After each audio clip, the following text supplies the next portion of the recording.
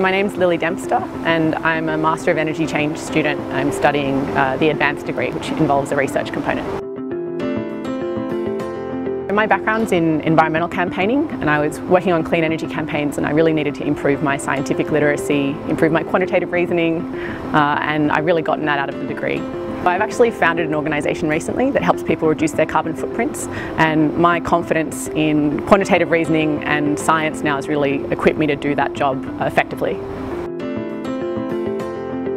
The biggest draw card for me in the Masters program was actually the range of academics I was going to have access to and that's proved really fruitful. Uh, they're people that are working uh, in core roles in policy development in Australia and also at the cutting edge of renewable energy technology innovation. Being able to study under people like Frank Jotzo, learn about climate change policy, uh, has been fantastic. This course offers a lot uh, and you can sort of tailor it to your interests.